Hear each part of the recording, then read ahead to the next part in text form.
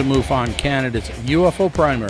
I'm Dave Palachuk, National Director of MUFON Canada and Executive Producer of MUFON Canada's podcast. MUFON is the world's largest and oldest civilian UFO investigative and research organization with members in many countries around the world. Our number one goal is to be the inquisitive mind's refuge seeking answers to the most ancient question Are we alone in the universe? Simple answer is no. Do you have UFO reports to share, armchair UFO investigator aspirations, or want to train and join our investigative team? MUFON is here for you. Will you please join us in our quest to discover the truth? What do we know after 50 years of MUFON? 1. UFOs are real. UFOs represent advanced technology not from any country on planet Earth. 2. We are not alone in the universe, we never have been. 3. According to the data we collect, our universe is teeming with life. And 4. The UFO phenomenon is worthy of scientific study because tremendous breakthroughs will result if we allow our scientists and engineers to do so without fear of ridicule. Each episode will feature a guest host along with our very special guests who are willing to disclose their knowledge on ufology. Hope you enjoy the information you hear in this podcast and use it to help decide if you believe. Embrace the future with MUFON Canada.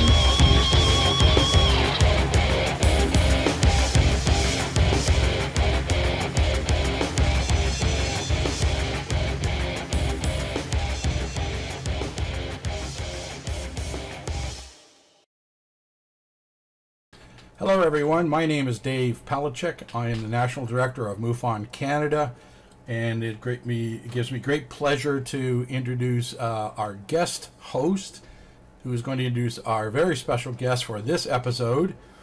And uh, it is a case right out of the history books from Canada. Our guest host is Linda Refuse from Liverpool, Nova Scotia. And Linda's relived in Nova Scotia most of her life She's a manager of two museum sites for the last 30 years. Wow, two. Uh, her interests are history, geology, and ufology. And that's, uh, she says, are her three loves.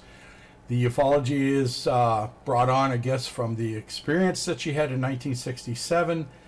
Got her started on her way to becoming a field investigator for MUFON Canada. So, our Nova Scotian investigator, Linda Refuse. Linda? Thank you, Dave. So today our guest uh, is retired RCMP Constable James Blackwood of Churchville, Nova Scotia. James, welcome, and thank you for joining us today to share this very interesting story with our listeners. So today, James is enjoying his retirement days, uh, staying busy, and enjoys the pastime of daily nighttime feedings of a very large group of friendly raccoons. And James, I have enjoyed uh, watching some of your your videos, but let's jump back to another nighttime in 1978 when the then RCMP Constable Blackwood was stationed in Clarenville, Newfoundland. At about 1:45 a.m., James's station received an unusual call and um, so I would like to uh, ask that you take it from there as this story all begins with that phone call. Yes, uh, thank you for having me on. Uh, my shift ended at 2 o'clock that morning, and uh, and when I was in the office, I, I took the phone call around 10 to 2, and uh, and uh, it was a local person who I knew down on the waterfront. He said that there was a object in the sky getting closer and closer to uh, Clarenville that I should check it out. Now, prior to this, we've had other calls regarding uh, unidentified flying objects, and uh, we investigated them, but we've never ever seen anything. So uh, I, I didn't think we were going to see anything again. Usually when we get there, it's gone. Uh, so when I went there, uh, I, I, could see it, but it wasn't all that uh, visible because it was still approaching. And uh, and I said, well, that's weird. I said, at first I thought it was a, a planet. And then it kept getting bigger and bigger and bigger. And then all of a sudden it was right down on the water, right in front of us. And I say, with the size of it, uh, the size of a 737 aircraft, and uh, maybe a little bit bigger. and it's it was on the water uh, uh, between Clarenville and Random Island, what we call uh, the, the Clarenville Harbor. And uh, the uh, person that uh, called me, he's since passed away, but there was him and some of his family members. I said, well, 12 of us all together were watching this thing, and he had a pair of binoculars. And uh, so anyway, we were watching the binoculars, and once it got so close, we didn't need them anymore. And uh, I, I scooted up to the office, and I, I got, uh, we had a telescope there on loan for drug surveillance called a Balscope. And you can uh, multiply images up to 60 times the normal rate. So I had that all set up in the tripod and everything. And, uh, and uh, when I uh, zoomed in on the craft itself, you could see the metal was like a, it was, it wasn't shiny. It was more like a gray, dull type uh, surface, and uh, looked like it was pitted, you know, and uh, and it had uh, the bottom part, the whole bottom was all illuminated, and uh, it was reflecting off the water, and um, it just sat there, and then and all of a sudden started moving back and forth, rotating back and forth, coming toward shore. So I activated the roof lights on my police car. When I did that, it activated lights on the craft. And uh, my my friend there that made the call, he asked, uh, he said, "What are you doing?" I said, "Well, I thought maybe we could make some kind of a contact." And he said, "I'm not contacting anything. I'm getting out of here." He said, but I was very drawn to it. Uh, a good job it was on the water because if it had been on land, I'd have walked right up underneath it. I, I had no fear of it at all. But it was just something I just couldn't take my eyes off. And uh, it stayed there for about an hour and 45 minutes. And then when it left, it, it came as it approached, started moving off slowly, and then poof, gone like a shooting star, only going the other way. Um, so I went back to the office, uh, but I had already contacted my staff sergeant when I uh, when I got the Balscope. Told him, you know, what was down there. He, and I know if he looked out his bedroom window, he could have saw. But he he didn't want to get involved in. It. You know, I only got a few more years for retirement. So anyway, uh, that's the way it was. And then um, the next day, my phone started ringing off the wall at home uh, people wanting interviews. Of course, I denied them. I said uh, no comment, wouldn't talk to anybody. And uh, I think it was the next day my staff sergeant called me in the office and he said, uh, the commanding officer of the division wants you to go and do an interview with uh, Geoff Stirling up uh, at the NTV TV network. And uh, so that's that interview that you see on YouTube today. I was only 25 at the time. And then um, I think CBC did one there later on, but it wasn't as in depth as as what Mr. Stirling's was. He he covered it, all the bases of it.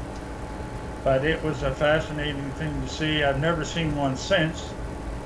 And uh, like you said, I, I, I, did take a lot of ridicule from my fellow members. Uh, our ident section sent a, a picture of a flying saucer and and it had an alien sticking his head out the window and hollering my name with like a little bubble around there and saying we want Blackwood and they were calling me Mork for Mork on the radio and, and uh, it was just you know and I was in the force a long time after that but every time I met somebody new they'd say oh you're that UFO fellow. But but uh, NTV still play that video today and it's all in years later, they still play it uh, late at night and early Saturday mornings, uh, like say around eight o'clock in the morning. They'll, I, I still see it on TV. But Jim, uh, when you went back, when you originally went back to the uh, to the station, were you not given a special paper to sign? Yes, uh, we had to. Uh, we had a C237 form uh, and it had uh, a green border down the side and had top secret on it. And uh, I had to do up a report, and the staff sergeant stayed up with me all night till I got it all done. And then he's we had to seal it in a special envelope. that had special secret tape on it, all the rigmarole. He had lock it in the safe, and then it had to be uh, uh, what, did he call it back then? It was double registry. They called it, and and, uh, and that went to uh, Ottawa, and then they shared it with the National Research Council. And this Dr. McNamara was the fellow that came and did a, a little spiel on what he what he thought I saw. Out of curiosity, oh sorry, Linda. Out of curiosity, was that form an RCMP form, or do you think it came from another division of our government? No, no, it was an RCMP form. The Royal Canadian Mounted Police uh, emblem on the top of it. But uh, we had different forms we used for investigative things. But this is the first time I ever saw anything like this. And uh, he stayed with me while I did it in triplicate. We had the old carbon copies, old carbon paper back. Oh yes. And uh, you know, even our CPIC wasn't. It, it was typewriter type stuff. We even still had a telex machine. So far back we go, you know. But uh, that was sent off, and I never saw that again. But I did see um, some people have been able to find copies of that report, and uh, and uh, there was a member, Cal Davis. He did the investigation of me, and uh, he came back. You know that was uh, nobody else saw the the uh, craft any any further, and they concluded the file. McNamara, he, he his report, he stated that what I probably saw was the planet Jupiter, because uh, at that time of year it rises over the meridian, and this is the way he described it. And I was totally miffed. and uh, this, uh, I forget what the name of the company was that uh, interviewed me at the time, and I didn't care what the CEO said. I, I tore a strip off him. And I said, he didn't even interview me or the uh, other people that were there. But he came to that conclusion that it was the planet Jupiter. And I said, how in the name of God Jupiter come down and yeah. sit at the top of the water? Doesn't he realize how big that planet is? you know? Uh, but yet at the same time, you're asked to fill out uh, a report that's labeled top secret and, yeah. and uh, flown or sent to to uh, Ottawa. So there's a little bit of contradiction there. Yeah, I would say. Yeah. I don't know how National Research Council got a hold of it, but I mean, it was sent directly to the commissioner in Ottawa. Right. That's, so, Jim, but what about? Uh, I mean, now, like you were saying in the beginning there, that that you weren't the only witness. There was a group of you, like at yeah. least a dozen other people. Yeah. And you know what the town did? They had a, uh, the Holiday Inn had a, uh, a UFO weekend, and if you uh, if you uh, won this holiday weekend on the radio station, they gave you binoculars and a star chart and free room and meals for a weekend. Wow. And, uh, and there was people coming from the states and everything uh, to, um, to hoping that they would see this craft again, and they renamed the uh, hockey team. The gentleman's hockey team was called the Clarenville UFOs, which I played. I was goaltender for, and we had red uh, jerseys with a yellow flying saucer on the front of them. I had Clarenville UFOs, and the uh, the local car dealer had a UFO sale for cars, and they had little flying saucers in the windows, and so the people were making money off it, you know. Yeah, yeah, and did it on the map. And what was this the first? Was this the first sighting? Were there not? Uh, were did I read that the residents uh, were saying that there had been a couple of other phone calls previous to this sighting? Yeah, there was in uh, in an area called uh, Lethbridge Bloomfield area, and that was uh, about maybe a uh, 15 minute drive out of Clarenville. Okay and that and that's the area surrounded by water as well. But uh, when we went down there for that one, the the, the uh, craft was gone. We didn't see anything. Okay. But we took we took the report from the, the local people that were there to witness it. Jim, do you think there are of those uh, like the original the the other witnesses there who called who placed that call that night to bring you down to the to the wharf? Do you think that any of those people would still be uh, around today in Clarenville? Or Well, I know uh, Jess Lethbridge since died, but his his brother, uh, there's a couple of his brothers still alive.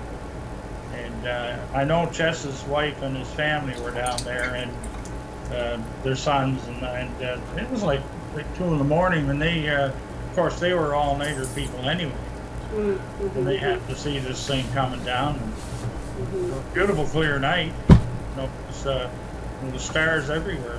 Couldn't Mhm. ask for a better night to watch something like this. Yeah. So there are still people there probably Yeah. in Clarenville who can talk about it as well as uh, Yeah, they yeah. witnessed uh, back then. Yeah. But you did, uh, you have um, a drawing of it. Unfortunately, no cell phones back then. No. But, um, but you did do a, a drawing of it, did you? Yes, I did, yeah, and I held the drawing up in the video. Okay. It's just a rough drawing I did there on the, on the desk, Yeah. and it had a, a, a tail at the back of it, but it was uh, like I know what the tail is for on an aircraft, but this thing didn't look like it was any use. It was too small to be aer- aerodynamic, aerodynamic for anything. So, Jim, The fascinating part was the lights. When The lights came on. Jim, you said this was the size of a 737, so you're talking a hundred foot vehicle. Oh Um, yeah. How about the full dimensions? How thick or you know wide or you know? It was it was an oval shape, and uh, it was uh, the same size all the way around. So it was uh, you're looking at like a hundred foot diameter, you know, and it, it was uh, it was a big craft. So if you take a retrospective idea of a person's height, how many levels do you think were in that craft to our size? I would say probably I'd say there could be two, maybe three. Okay, that's that's about what we get all the time. Now, mind you, we can't judge size based on our size because we don't know what size an alien actually is. It could be No. ten or more stories inside, right? Yeah. So, anyways, well, that is a typical craft, and uh, that's uh, quite a large one. so, So there's been no nothing more reported uh, since then, Jim, that you know of in Well, I- since '78. Well, at the, the time I had my sighting, there was a Jordanian um, pilot reported uh, an incident around the exact same time that, that our sighting happened, that they saw this thing in the atmosphere. Okay. And, uh, and Eastern Provincial Airways pilot also reported it. Oh, interesting. But they're not in existence today. They're uh, WestJet took over all that area. But uh, at that time was Eastern Provincial Airways. They were the Atlantic carrier at the time. Okay. so, can you describe how it left the scene, uh, Jim? It just well, it it left the same way it arrived. It came down very very slowly, and then uh, and after it established how you know what, what height it was going to be, and and just stayed there. And then when it left, it left the same way. It started going slowly and slowly, and then when it started to be hard to see, and then it just took off and just gone. And oh yeah, by the way, the, the lights were all turned off this time when it happened. Even on the bottom. Yeah. Yeah, that bottom light, that was that was hugely bright. And and you said uh, that it, it it appeared as though it were looking for something. Yeah, it kept going back and forth uh, along the water and uh, moving up and down like a, like a scanning for something. And I don't know. Is that a deep harbor there where Yes. it went over? Yeah, it is. Yeah. So you're well aware that we've had many cases of underwater UFOs. Um, you ever given any thought that maybe it was searching for another ship that it thought was under the water in that area? Well, I I don't know Yeah. what You- it was doing. Uh, you know, to this day, I have no idea what its purpose was. Fair I'm enough. aware of the Shag Harbor incident here in Nova Scotia. Right. Yeah, still ongoing research uh, with Yeah. that with that case as well. Yes.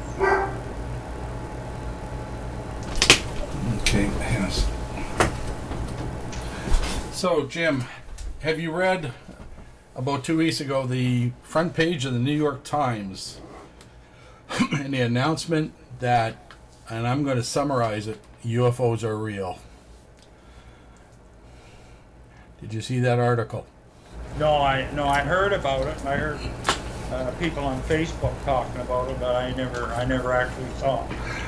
All right, so basically, they admitted the U.S. government has a vehicle not made on Earth in their possession.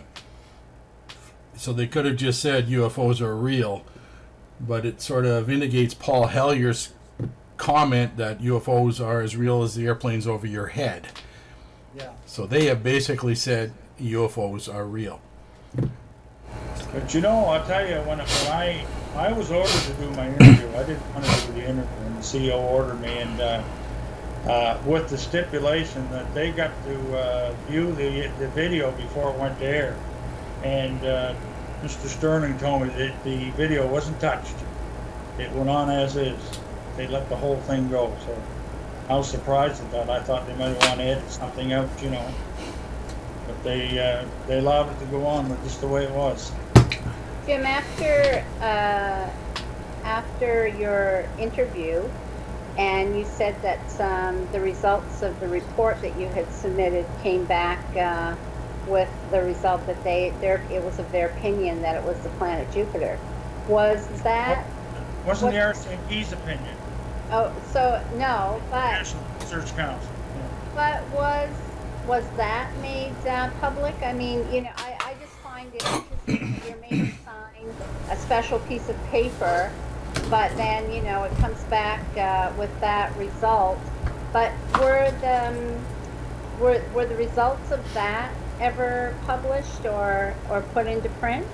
It came out in a paper, and I had a copy of it, and I don't know what I did with it. It was called Res Bureau, RES Bureau Investigations, and uh, and they published uh, uh, what the results was from National Research Council. The RCMP had no input at all, and uh, so that's when I when I saw what Dr. McNamara said. I wrote back to them, and I gave them my two cents worth, and. Uh,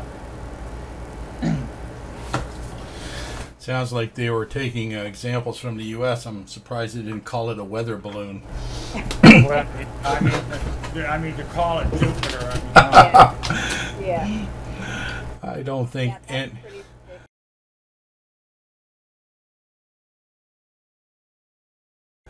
yeah, pretty far fetched, especially from our research council. it's a slap in the face to me, and I didn't take kindly to it. And and it is a slap in the face to you as well, Jim. As- I mean, you know, back in 1978, but especially now today, in 2020, with what Dave has just said about uh, the Pentagon releasing that, you know, they or the the United States military do have um, a um, a vehicle that was not made on this planet.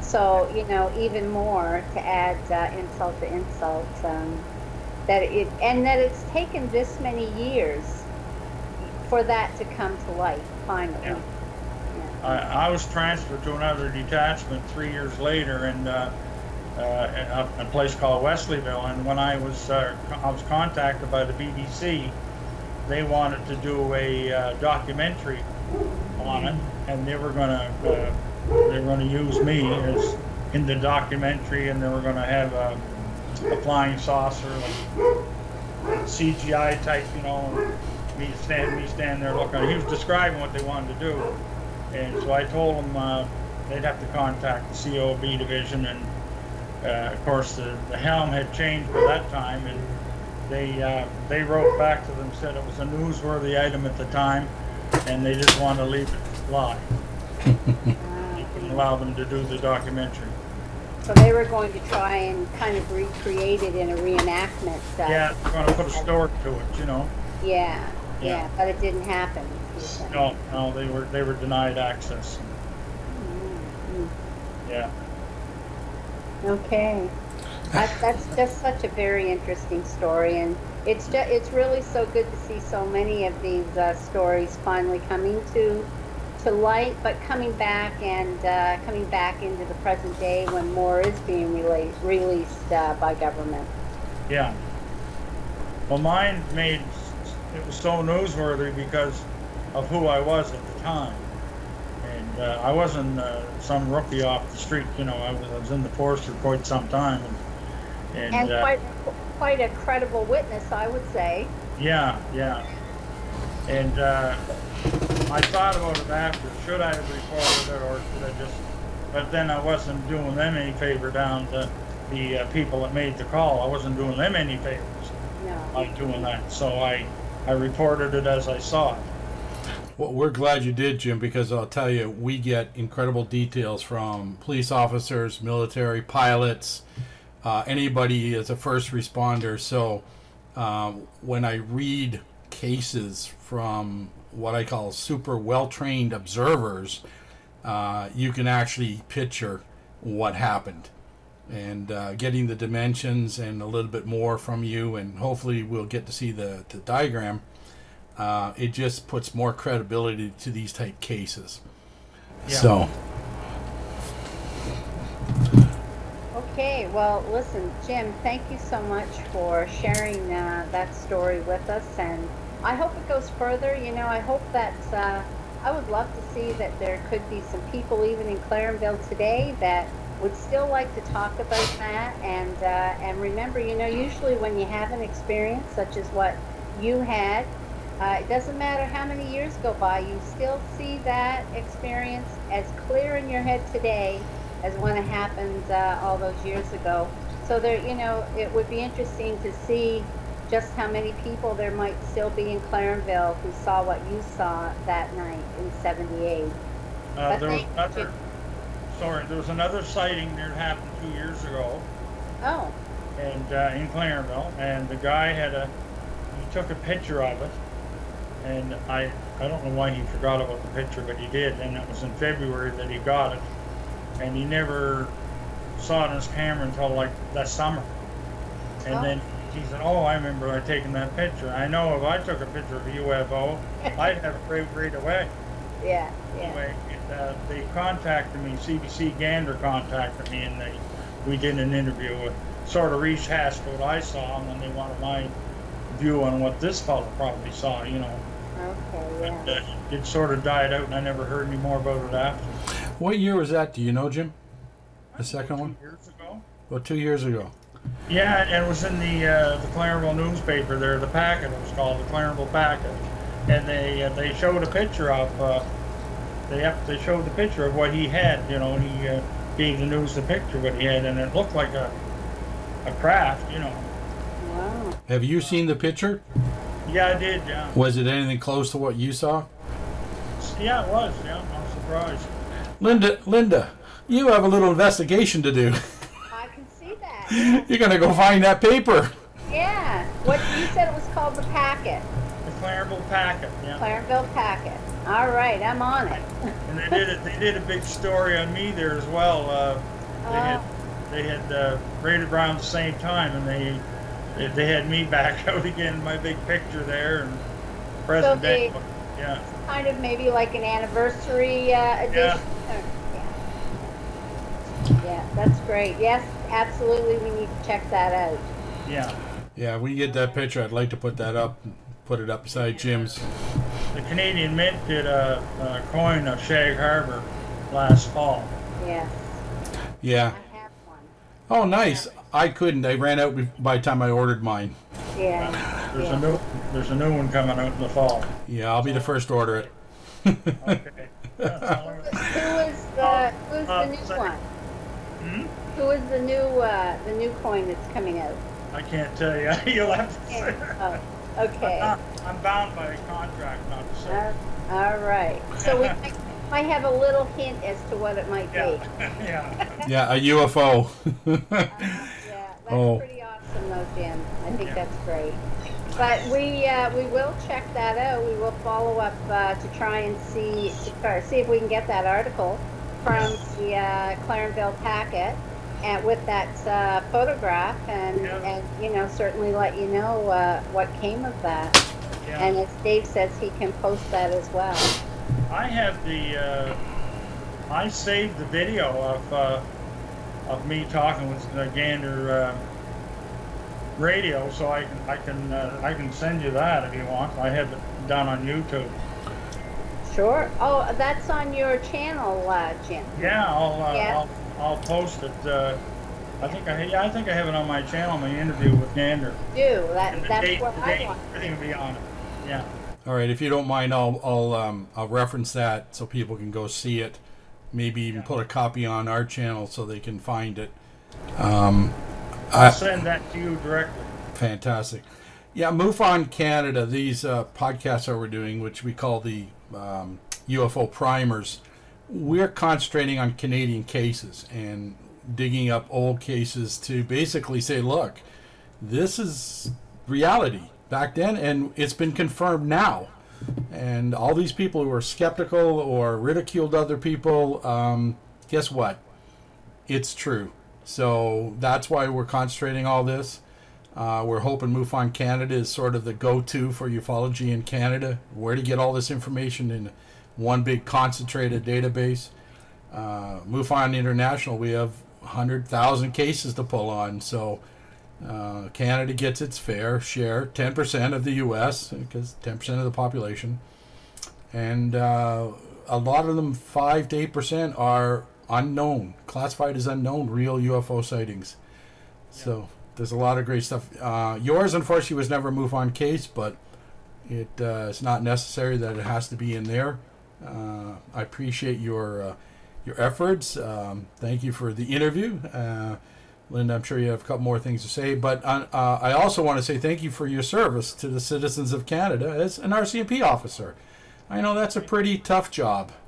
Yeah, it is So- sometimes. Yeah, yeah, and uh, and uh, thanks for not uh, walking away and saying I don't want to get involved. It's uh, history's not making by uh, made by people who ignore the facts. So And and thank you too, Jim, for standing by your story.